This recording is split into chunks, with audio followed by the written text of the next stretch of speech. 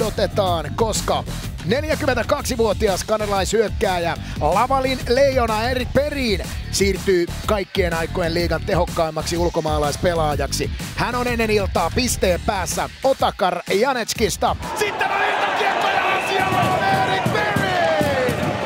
Ja Erik Perin siirtyy omalle pisteluvulle! Loistavaa uuden vuoden aattoa hyvät jääkiekon ystävät ja lämpimästi tervetuloa viikkomakasiinin mukaan.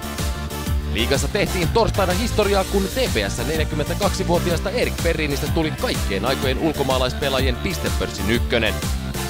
Otakar Janetski piti tilastoa hallussaan yli 19 vuotta, mutta nyt 11 kauttaan Suomessa pelaava Perrin ohitti Jokeri-ikonin. Liigaurallaan jokereita, Ässiä, HPKta, Jyppiä ja TPS edustanut Perrin tarvitsi 564 ottelua päästäkseen ennätyksellisiin lukemiin. 166 maalia ja 314 syöttöpistettä muodostavat yhteensä 480 pistettä. Se oikeuttaa liigan ulkomaalaispelaajien kaikkien aikojen pistepörssin ykkössijaan.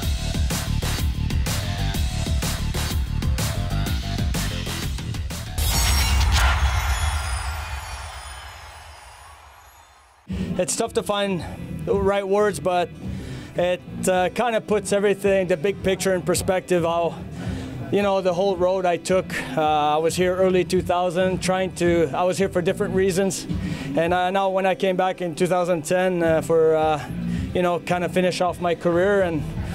Didn't know it would last this long, to tell you the truth. But I, am grateful for all the opportunities I've been given. Uh, everybody knows you don't do this by yourself. You know, it's it's being part of great teams, having great teammates, uh, people who support you, and uh, you know, it's it's uh, a node to everybody I played with, all the organizations I played with here in, in Finland. How grateful I am for everyone there that that uh, believed in me and gave me that, those opportunities.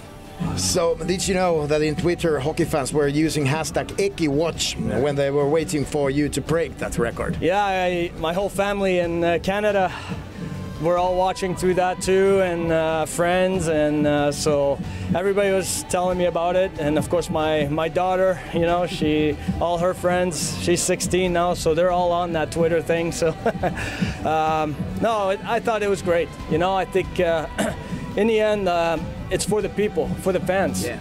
You know, and and uh, that's I think the biggest thing to mention. Uh, everywhere I went, I was respected. I was treated with respect, even uh, as a player from the other team. And uh, you know, without the fans, there's no hockey. And uh, you know, I think we're se- we're selling a product. We're entertaining the people. And uh, you know, I want I, want, I really want to tell them how grateful I am for for everything. Uh, they always made me feel not a foreigner even though that's the record I just got. They made me feel like a Finn and one of their own everywhere I've been, and uh, so uh, I want to thank them for that. At the age of 42, you are still one of the leading players of the team and also in the whole league. What is your secret? I sometimes I try to stop and uh, think about it, but you know, I I think that it's no secret. I think when you have a passion for something and you still enjoy playing, the legs follow and the mind follows, you know? So it, it all relates together. I'm enjoying the game. I'm having so much fun with these guys. And, uh, you know, they're, uh, they're, they're my energy and, uh, and I'm enjoying it. And the rest, I don't know. I'm just, uh, of course, you got a little bit of luck with, with your health and staying healthy and everything. But uh, I think mental health is number one, and it's been great. How much do you love this game?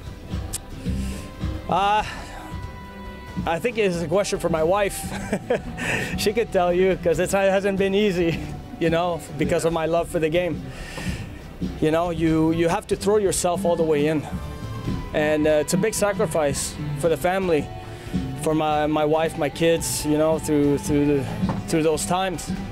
They have to go through, through uh, you know, through knowing that I'm all in and I'm in my bubble you know that's just who I am. I, I, you know I, I care about my teammates. I care about how I play, and um, when I enjoy, uh, you know. But that's uh, you know I owe it a lot to them for for keeping me uh, going here. You know, uh, first I just want to leave a great legacy for for my children. that uh, this is kind of a message to them that if you have a passion for something, you can do as long as you can and and be successful at, at it, whether it's uh, sports or anything in life. And you know, right now I just want to take it one step at a time, uh, finish off the season, and uh, you know, see how I feel. But right now, if you're asking me right after this game, how let's let's do this again. let's do this again.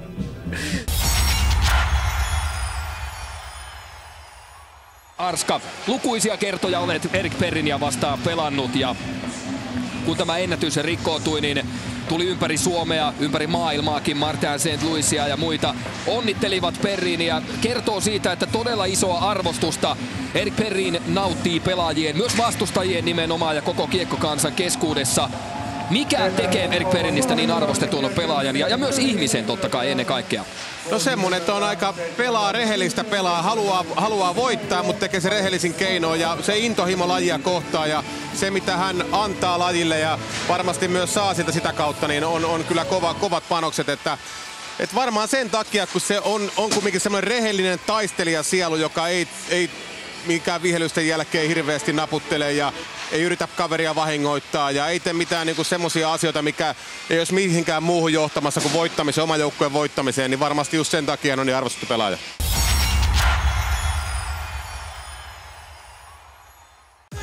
Tapanin päivänä kiekkoiltiin täysi seitsemänottelun kierros. Helsingissä ilman superjunnu Miro Heiskasta pelannut IFK sai vastaansa pelikanssin laadesta. Ensimmäiseen viiteen minuuttiin vierailijat iskivät kahdesti ja Ari-Pekka Selinin valmentaman kotijoukkueen luistelussa näkyi vielä joulukinkun myötä tullut ähky. Pelikans lisäsi toisessa erässä vauhtia ja kun Vili Sopaselle ei maistunut toisessa päässä, niin muutama sekunti myöhemmin Taavi Vartiainen kiitti ja kumarsi hieman myös Atte Engrenin kustannuksellakin ja lukemat kolmeen yhteen. IFK-kapteeni Lennart Petrel yritti herätellä omiaan kovalla taklauksella, mutta Vartiainen vastasi kutsuun ja Tapanin päivän tanssit olivat valmiina alkamaan.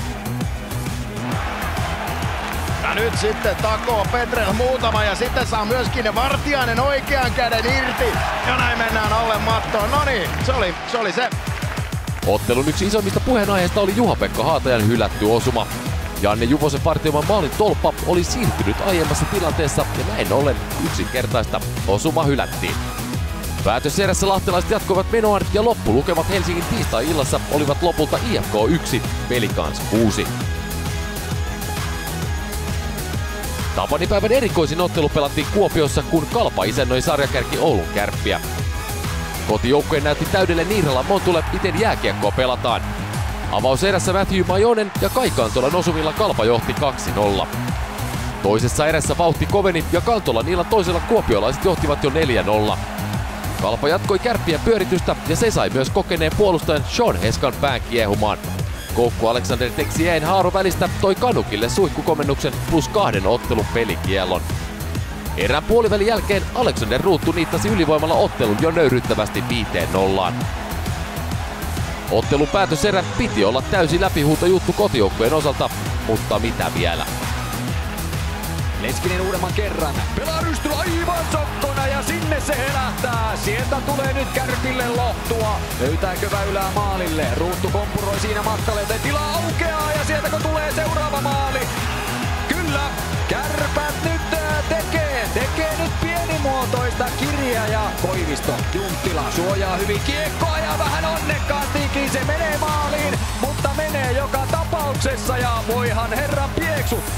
Viisi ja puoli minuuttia pelaamatta ja mitä tämä Kärpät nyt oikein tekee tässä päätöserässä? Tässä kuitenkin Kärpillä loistava sauma iskeä peli nyt yhden maalin päähän. Lasse Kukkonen ja Kalpa viisi, kärpät neljä, aivan käsittämätön trilleri on nyt kyllä päällä. Ja se on, tämä on kyllä, se on kauden kovin temppu, se on jopa yksi liika, liika vuosikymmenen kovimmista tempuista, mikäli päätöserä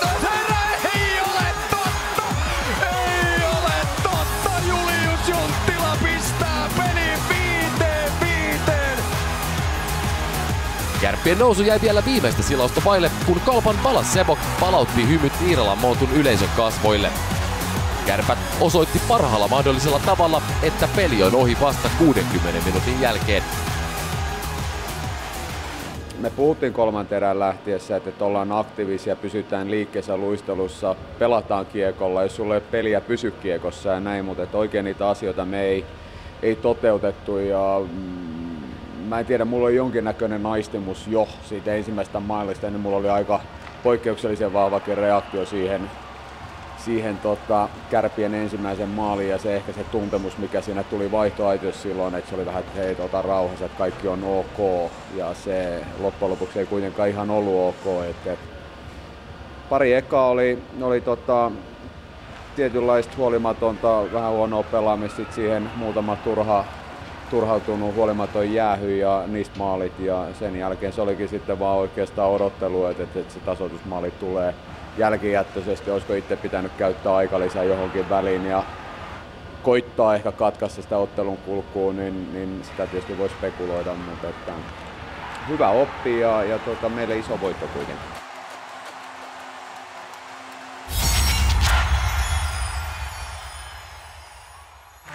Vauhdikkaan liigakiekon loppuviikon pelien parhaat palat aivan hetken kuluttua lyhyen mainoskatkon jälkeen. Mutta vielä ennen katkoa annetaan estradi maalivahdeille, jotka osoittavat kuinka se pikkumusta tarttuu, kun tilanne näyttää lähes toivottomalta.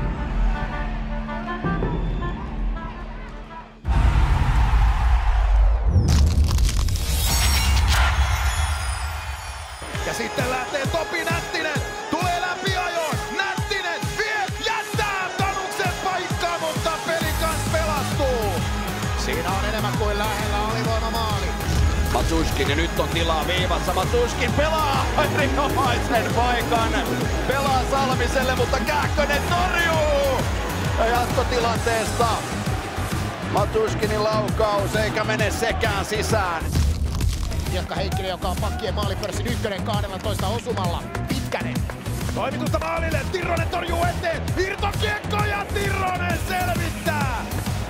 Komea torjunta.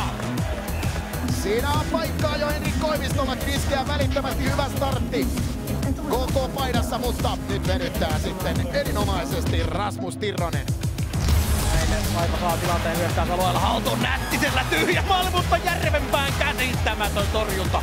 Aivan uskomaton reagointi Järvenpäältä tilanteeseen, jossa Topi Nättinen olisi voinut iskeä kiekko tyhjää maaliin, mutta 45 sekuntia rangaistusta jäljellä. Sopanen, Turell, Sopanen tulee, pelaa keskustaan, Kaski, Stiukot ja Hiero ja Torel ja Juvonen!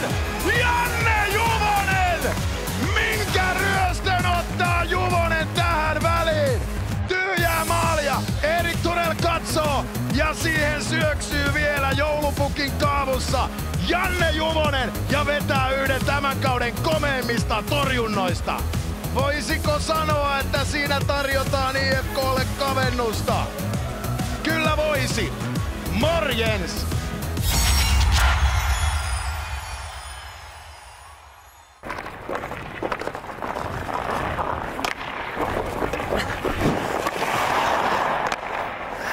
aina valmiina. Tulee vastustajan pakeille hikiset oltavat. Valitse mut.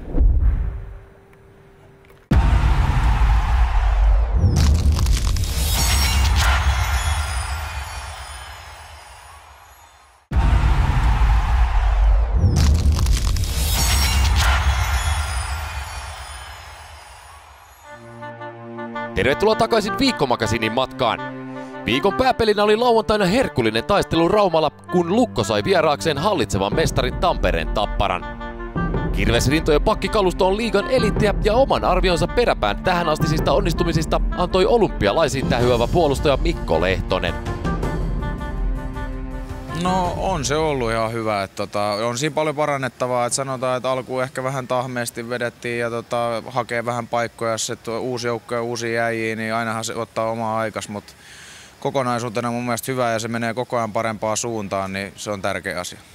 Tapparassa pakeilla on tietenkin nykyjääkiekon muutenkin suuntauksien mukaan todella iso kiekollinenkin rooli. Kuinka hyvin se sopii sulle? Sopii mulle kuin nenä päähän. Että tota, kyllä mä tykkään pitää kiekkoa ja toimittaa sitä maalille, niin se sopii mulle oikein hyvin. Kuinka korkealle itseluottamustaso tässä viime viikkoina on noussut? No on kyllä noussut hyväksi, että tota, viime maajoukkueturnauksen jälkeen on mennyt tosi hyvin ja tota, mennyt koko ajan vaan parempaa suuntaan. Että on saanut hyvän vireen päälle ja se ruokkii eteenpäin, niin se on hyvä homma. Kun kiekko tippui jäähän, jatkoi Tapparan puolustajat kovaa esimarssia. Aivan avauserän lopulla ylivoimalla aloituksen jälkeen Otso Rantakari tykitti Tapparan 2-0 johtoon. Toisessa erässä Kristian Kuusela ohitti Kaapo Kähkösen lukkomaalilla jo kolmannen kerran ja se riitti raumalaismaalivahdille, kun päävalmentaja Pekka Virta vaihtoi Sebastian Ylösen maalin sulle. Lukko oli edelleen jäässä ja Aleksi Salonen niittasi ottelun jo neljään nollaan. Päätöserässä Pirran suojatit löysivät pitkään kadoksissa olleen pelihuumorinsa. Ramstedt ajaa itse keskelle, nostaa rystyltä, nostaa kiekon maaliin ja kaventaa pelin. Tämä on juuri sitä, mitä Lukko nyt tähän kohtaan tarvitsee. Liedes Keräselle ihan ei osu kohdilleen, mutta jatkotilanteessa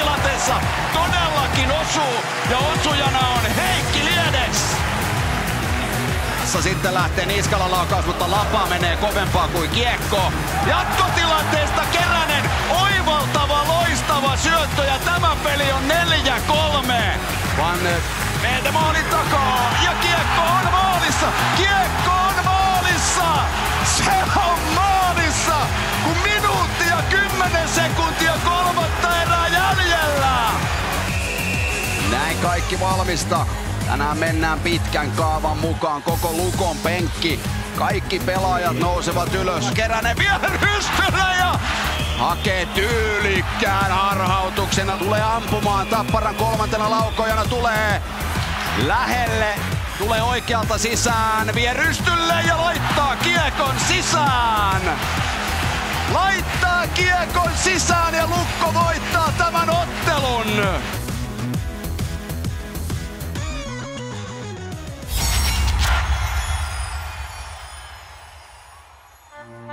Lauantaina Turussa TPS kunnioitti ennen otteluaan Vaasan sporttia vastaan Eric Perrinin upeaa ennätystä ja myös itse ennätyksen haltija sai oman hetkensä kiitospuheelle.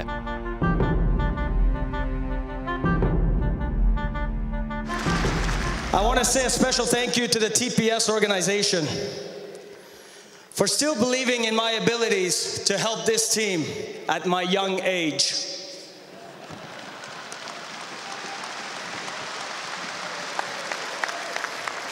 It is a great honor for me to achieve this record wearing the black and white TPS jersey.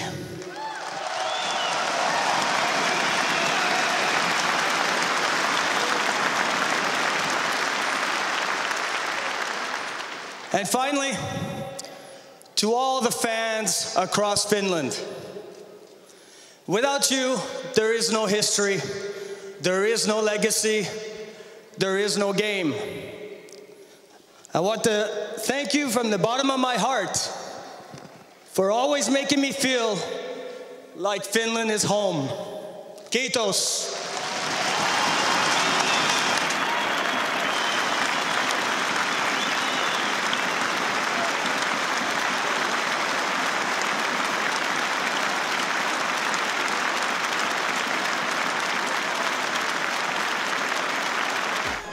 Itse ottelussa vaasalaiset eivät päästäneet TPS ja Periniä helpolla.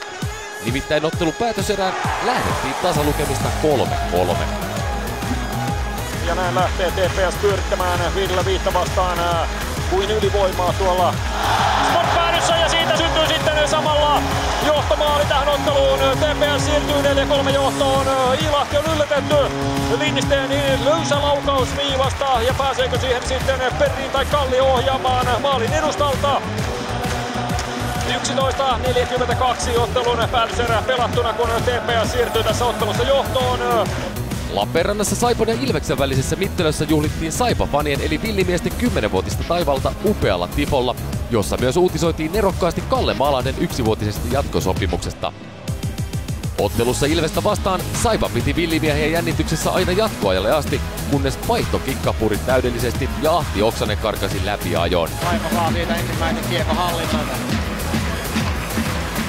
Ruotsalainen ja Vlad Laakson lisäksi ja siinä saman tien pelataan Ahti Oksanen läpi ajoon ja Oksanen ratkaisee ranteella verkon perukoille ja Lappeenrantalaisille 3-2 voitto. Näin on saatu tämänkertainen viikkomakasini pakettiin ja nyt on se hetki, kun on aika kiittää ja kumartaa teitä hyvät katsojat kuluneesta vuodesta. Oikein hyvää ja rauhallista uutta vuotta. Kiitos seurasta. Moi moi!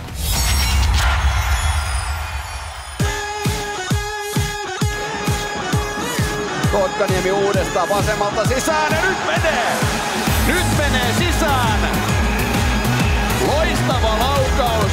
Ranteella etu yläkulmaan Jesperi Kotkaniemi kaventaa tämän ottelun kahteen yhteen. Kallio tiivistää kääntön takatolpille ja komea maali! Oskari Siiki pokkaa siitä marjat pois ja sen marjan tarjoilee hopeisella vadilla Tomi Kallio. Pitkä kuljetus tulee Henri Tiukselta ja komeasti kahden pelaajan välistä ja Olkinuora imaisee kiekon maaliin ja Jukurit siirtyy vierasjohtoon. Olipa soolo Henri Tiukselta Rautiainen tulee vaihtoaitiosta tuoreena pelaajana sisään ja kaventaa tämän pelin. Ilves kiekollisena hyökkäysalueella. Meskanen lähti vaihtoon ja Teemu Rautiainen tulee tilalle ja pääsee saman tien tyhjään maaliin kiekon ohjaamaan loistavasta syötöstä. Kallio katsoo, yrittää maalin eteen, Lindsten pelaa paikan!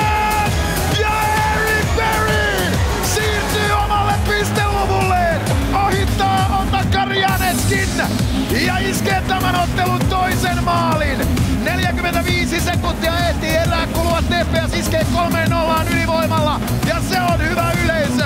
Liiga historiaa. 480 tehopistettä. Eric Berry.